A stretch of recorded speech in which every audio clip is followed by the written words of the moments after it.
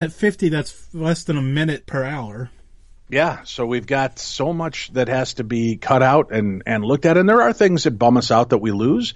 And but again, like our producers always say, what would you have removed from this episode to to share that piece of information or evidence?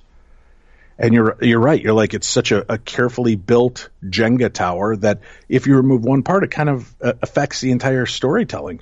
So we stick with you know the the main thrust of the investigation what is really the most compelling and important parts of the story. It doesn't mean we can't go back and re-examine those cases for the other things that happened. Yeah and that's the the fun part of this all right? Like it's i'm glad